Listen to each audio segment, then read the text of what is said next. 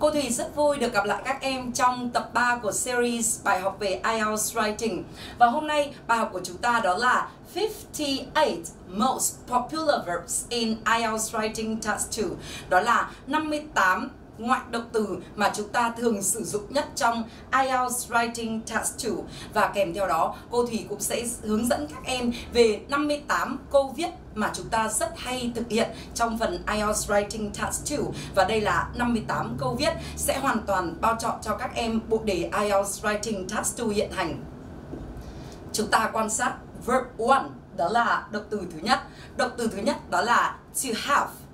Và câu viết của chúng ta là trẻ em thành phố có rất nhiều các tài liệu học trong khi trẻ em ở các khu vực xa xôi, miền núi thì không.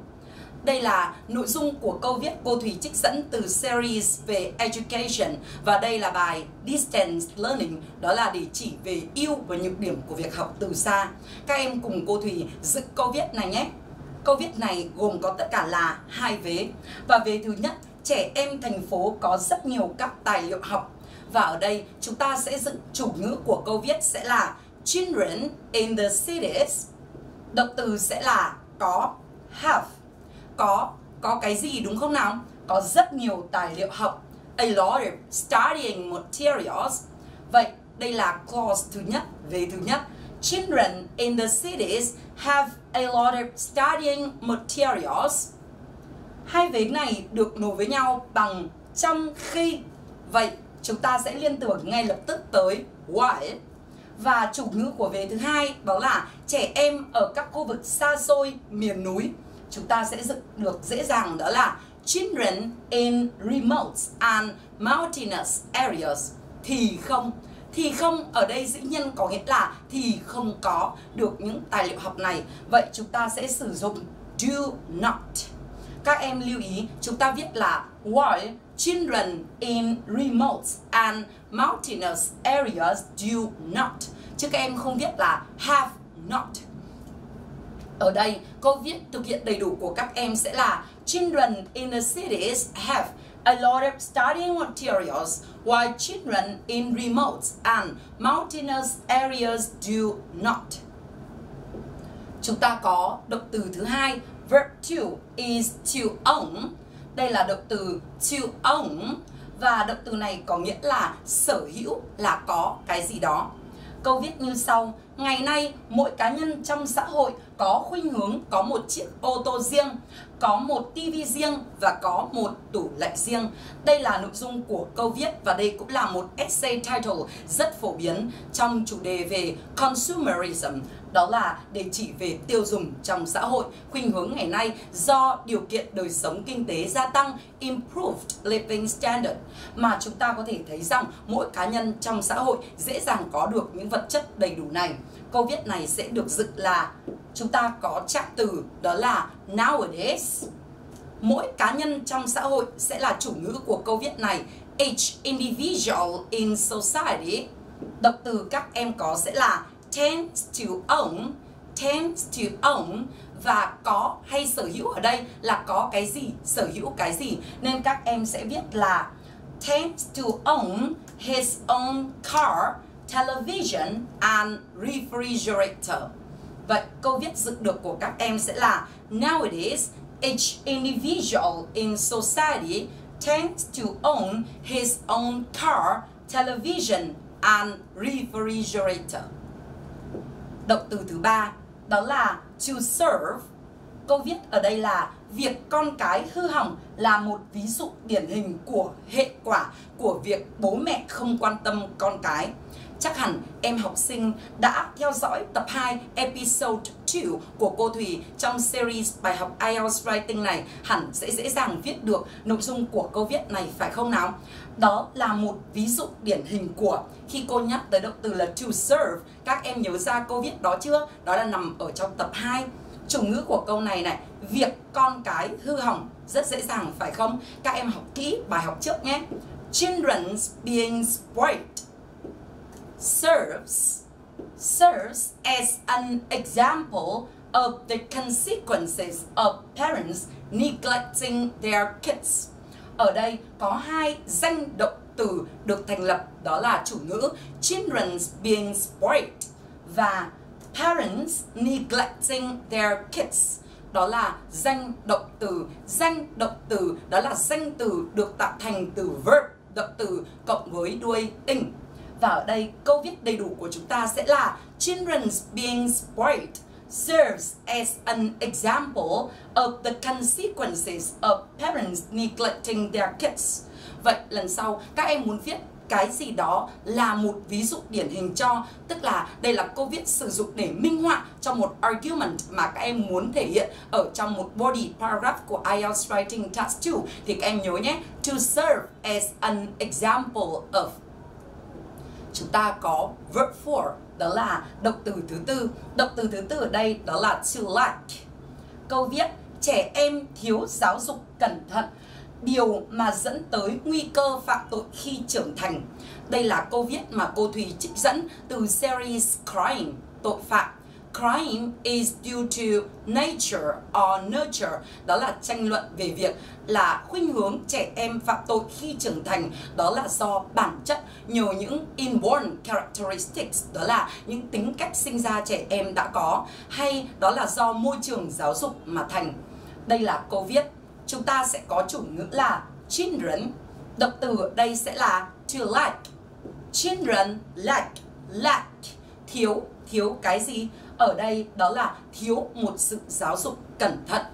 Children lack proper education và đây là điều dẫn tới nguy cơ phạm tội khi trưởng thành, nên các em sẽ sử dụng với mệnh đề quan hệ relative pronoun, đó là which leads to the likelihood of committing crimes during adulthood ở đây likelihood là danh từ các em sử dụng để chỉ khả năng. Khả năng ở đây không phải là ability mà đó là để chỉ xác suất phần trăm một điều gì đó có thể trở thành hiện thực được hay không. Chúng ta sử dụng với likelihood. Vậy câu viết của chúng ta sẽ là children lack proper education, which leads to the likelihood of committing crimes during adulthood. Verb 5. Chúng ta có động từ thứ năm đó là to satisfy. To satisfy. Động từ này với câu viết như sau. Ở các nước phương Tây, các nhà tuyển dụng thường cố gắng đáp ứng nhu cầu của công nhân viên về việc có thể có những hoạt động thể chất trong thời gian làm việc. Nhờ vậy thì người công nhân viên họ sẽ không bị lead a sedentary life, đó là bị lối sống y ạch, y trệ và như vậy họ cũng more flexible, đó là họ sẽ linh hoạt hơn, ờ, tác phong của họ sẽ nhanh nhẹn hơn ở nơi làm việc. Và đây dĩ nhiên là cô viết, cô Thủy có trích dẫn từ series Quick trong IELTS Writing Task to bind Câu viết đó như sau.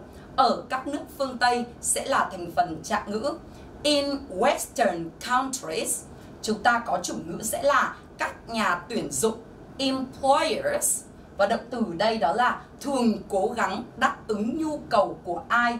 Employers always try to satisfy the need of employees. Các em quan sát cái cụm từ cách viết này to satisfy the need of đó là đáp ứng nhu cầu của ai các em có thể mở rộng hơn bằng một số các cụm từ tương đương như là to accommodate the need of cũng là đáp ứng nhu cầu của ai. The employers always try to satisfy the need of employees to do physical exercises during working hours. Đây là câu viết.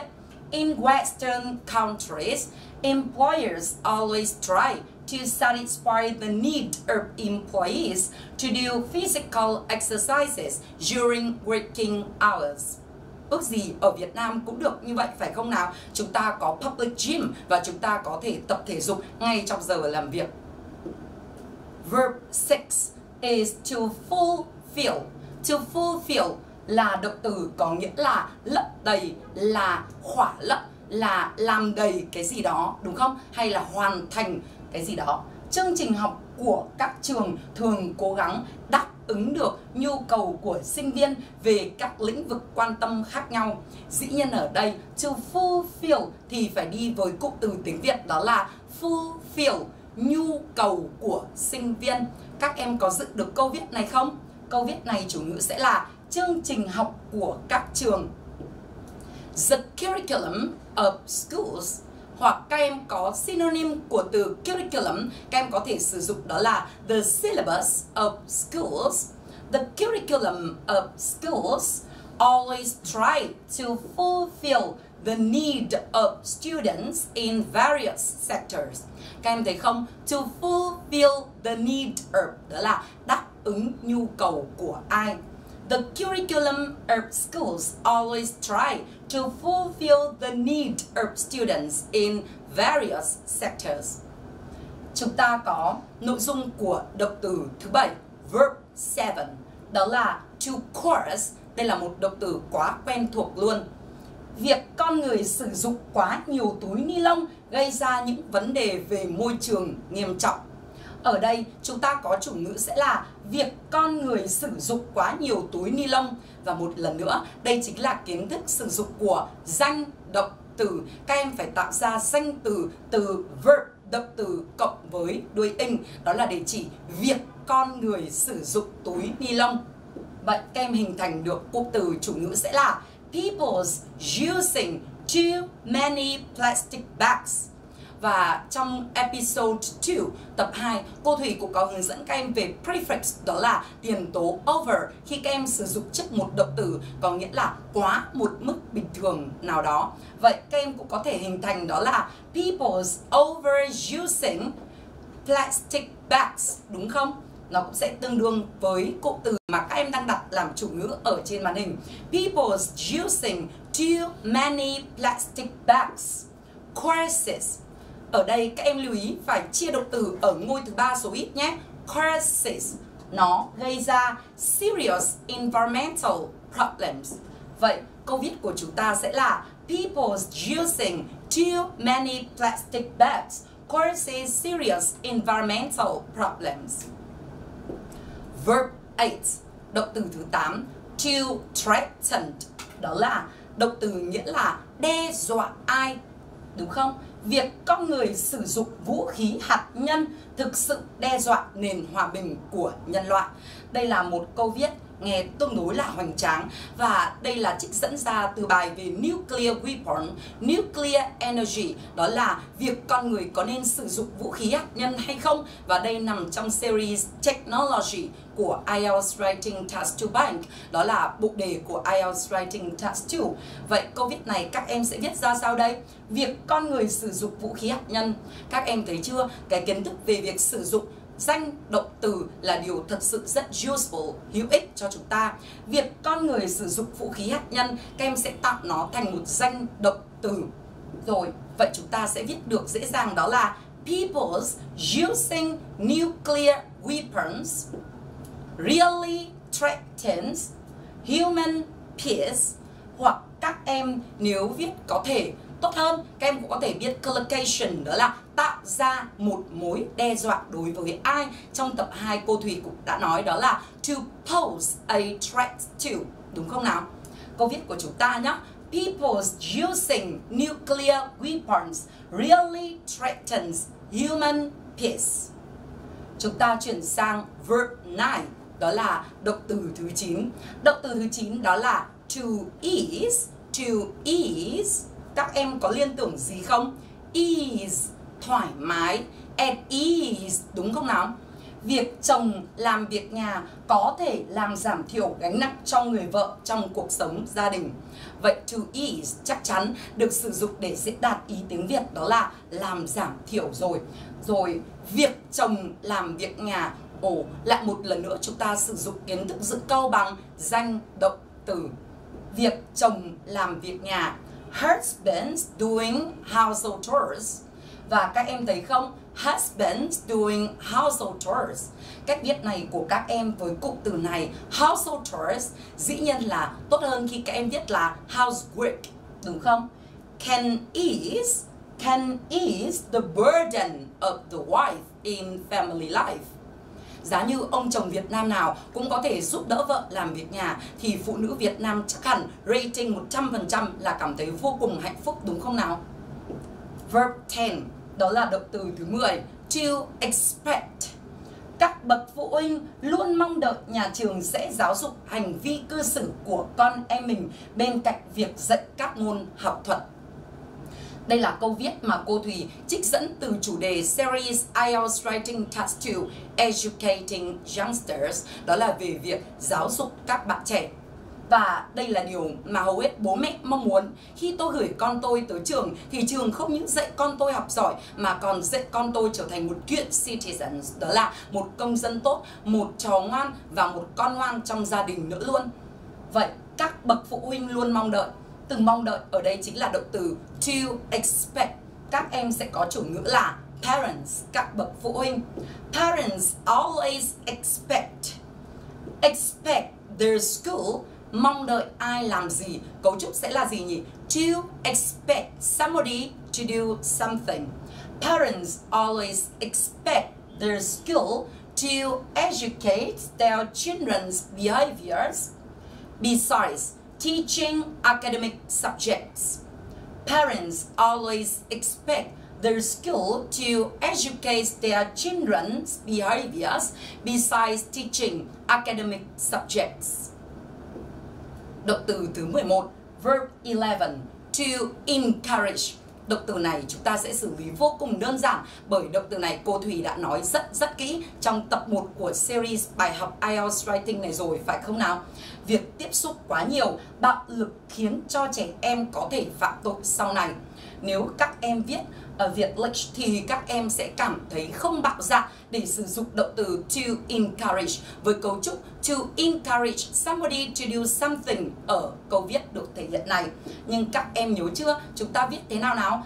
Too much exposure to violence can encourage children to commit crimes in the future. Ủa, to encourage somebody to do something là khuyến khích ai làm gì cơ mà nhỉ? Ồ, nhưng đây cô sử dụng như vậy đấy. Đó chính là là điều kích thích khiến cho khiến cho trẻ con có nguyên uh, có cái uh, khả năng đó là phạm tội sau này. Chúng ta sử dụng gần như là to make somebody do something. Vậy đó. Too much exposure to violence can encourage children to commit crimes in their future verb 12 đó là động từ số 12 to hope. Các nghệ sĩ mong đợi chính phủ sẽ hỗ trợ cho các hoạt động của họ. Đây là series National Budget, đó là việc phân bổ nguồn ngân sách quốc gia. Và đây là phần phân bổ của ngân sách quốc gia đối với các hoạt động nghệ thuật hay là việc hỗ trợ cho các nghệ sĩ, art and artists. Và động từ to hope ở đây được sử dụng thế nào? Câu này các em sẽ dễ dàng xác định được thành phần chủ ngữ sẽ là các nghệ sĩ, artist. Động từ hope. Artists hope that the governments will sponsor their activities. Artists hope that the governments will sponsor their activities động từ thứ 13 to intend to intend to do something or to have intention of doing something là cấu trúc có nghĩa là có dự định làm gì. Chính phủ nhiều nước có dự định hoạch định thành phố một cách hợp lý để giải quyết vấn đề về giao thông. Đây là câu cô Thủy trích dẫn từ một bài viết về City Planning, đó là việc hoạch định thành phố trong series về City ở tại bộ đề IELTS Writing Task 2. Vậy chúng ta sẽ viết được chủ ngữ như sau. Chính phủ nhiều nước. Their governments or many governments có dự định làm gì? Cô có thể viết là intend to do something hoặc cô có thể viết là have an intention of intend to have proper city planning to address the problem of traffic many governments intend to have proper city planning to address the problem of traffic. Động từ thứ 14, verb 14, to deny. Đây là phủ nhận một điều gì. Không có lý do gì để chúng ta phủ nhận được tầm quan trọng của chữ viết tay ngay cả trong thời đại về công nghệ. Ở đây không có lý do gì để chúng ta phủ nhận. Phủ nhận là một ngoại động từ, phủ nhận là phủ nhận điều gì. There không có. There is. There is no reason to deny the importance of handwriting even in the era of technology.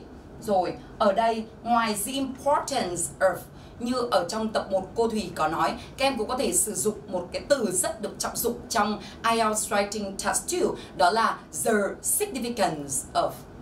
There is no reason to deny the importance of handwriting even in the era of modern technology. Chúng ta có động từ số 15 nhé. To doubt nhiều người dân nghi ngờ liệu số tiền viện trợ quốc tế có rơi vào tay những kẻ tham nhũng hay không. Các em dễ dàng nhận ra đây chính là đề bài về International Aid, đó là hỗ trợ viện trợ quốc tế trong mục đề phải không nào? Chủ ngữ sẽ là nhiều người dân. Vậy chúng ta sẽ viết được là many citizens. Many citizens doubt whether, whether chính là bằng với if or not whether international aids fall into the pockets of corruptors. Many citizens doubt whether international aids fall into the pockets of corruptors. Động từ số 16, to mean. To mean, hàng không giá rẻ đồng nghĩa với việc là người dân có thể tiêu thụ các hàng hóa nhập khẩu với giá rất thấp. Chủ ngữ của chúng ta sẽ là hàng không giá rẻ. Cheap airlines. Cheap airlines, đồng nghĩa với việc là, đồng nghĩa là có nghĩa gì, đúng không? Nên to mean, dĩ nhân sẽ là ngoại động từ. Cheap airlines mean citizens can consume the imported goods at lower prices. Cheap airlines mean citizens can consume imported goods at lower prices. Động từ số 17 to notice to notice Thật thú vị khi chú ý thấy rằng các bậc phụ huynh ngày nay hay có tâm lý so sánh con mình với con nhà người ta. Vậy, chúng ta sẽ viết được câu này với mẫu là it. It ở đây được sử dụng như một chủ từ giả. It is It is interesting to notice that it is interesting to notice that many parents nowadays often compare apples to oranges. Các em thấy thú vị không? To compare apple to oranges, so sánh táo với cam à? À, đây là một cái idiomatic expressions rất được chuộng ngày nay. Đó là sử dụng để chỉ tâm lý của mọi người ngày nay Thường so sánh mình hay so sánh gì đó của mình với của người khác. Suốt ngày con nhà người ta thì, vợ người ta thì, đúng không nào? À, vợ mình thì là công nguội còn vợ người ta thì lại là hải sản. Biết đâu thì với mình vợ mình là công nguội nhưng với ông hàng xóm thì vợ mình lại là bữa hải sản thì sao? Đúng không? Compare apples to oranges. Đây là một idiomatic expression rất thú vị, phải không? It is interesting to notice that many parents always often compare apples to oranges. Chúng ta có động từ số 18 to propose. Ở nhiều nước, các nhà chức trách đề nghị rằng phụ nữ nên được cung cấp dịch vụ trông trẻ miễn phí. Đây là nằm trong series của bài IELTS Writing Task 2 về việc chúng ta cần phải dành những quyền lợi gì, những benefits gì cho phụ nữ hay là để tránh tình trạng gender discrimination, đó là phân biệt đối xử theo giới tính. Vậy chúng ta sẽ viết như sau.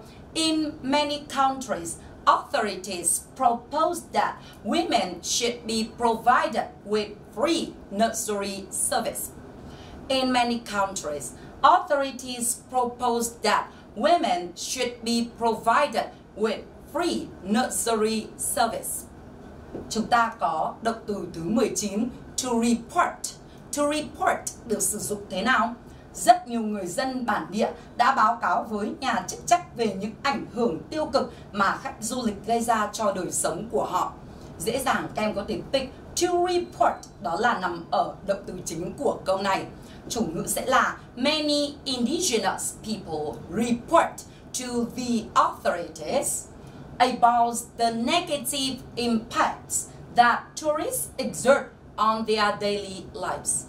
Ở đây chính là cô hình thành từ cái collocation rất phổ biến, to exert impacts on, đó là gây ra ảnh hưởng đối với, đây có thể nói là một trong những collocation thần thánh của các sĩ tử ôn thi IELTS bởi vì chúng ta thường xuyên phải diễn đạt với ý đó là cái gì đó có, ai đó có tác động lên là gì, đúng không nào? Many indigenous people report to the authorities about the negative impacts that tourists exert on their daily lives. Chúng ta chuyển sang động từ thứ 20, đó là to request. To request có nghĩa là yêu cầu. Người dân yêu cầu chính phủ phải cung cấp nhà ở miễn phí cho họ vì đây là một phần của phúc lợi cơ bản một lần nữa. Đây là một câu viết mà cô Thùy trích dẫn từ series về National Budget, đó là việc phân bổ nguồn ngân sách quốc gia. Lần trước trong các tập tập 1 và tập 2 cô Thùy đã có nhắc tới cụm từ đó là phúc lợi cơ bản. Các em có còn nhớ không? Basic welfare, đó chính là phúc lợi cơ bản phúc lợi cơ bản của người dân sống trong một đất nước đó là education and health care. Ít nhất tôi phải được đảm bảo về giáo dục cho bản thân tôi, cho con tôi và các chăm sóc y tế cơ bản. Chủ ngữ citizens, người dân, request, yêu cầu, request the government to provide them with free housing because this is a part of basic welfare. Citizens request the government to provide them with free housing because this is a part of basic welfare. National Budget, ngân sách quốc gia, cách phân bổ nguồn ngân sách quốc gia, How to allocate National Budget, có thể nói là một series lớn và gần như 100% luôn luôn tồn tại trong bộ đề thi IELTS Writing Task 2 của các quý trong năm và các em đặc biệt lưu tâm tới series này nhé. Có lẽ ngày hôm nay với tất là 20, 20 các ngoại động từ mà cô Thủy có truyền đạt trong tập 3 này của chương trình series học IELTS Writing thì các em cũng đã cảm thấy tương đối là mệt và tương đối để khó để absorb, để là hấp thụ toàn bộ những thông điệp, những cách viết hoặc là những cái lối diễn đạt với collocation mà cô Thủy muốn truyền tải tới các em. Nên có lẽ rằng các em sẽ tạm dừng bài học này tại đây. Chúng ta sẽ gặp nhau trong IELTS Writing và đó là episode 4 đó là tập 4 với các cấu trúc từ số 21 nhé. Cô, hẹn gặp lại các em trong bài học kế tiếp. Thank you and see you again. You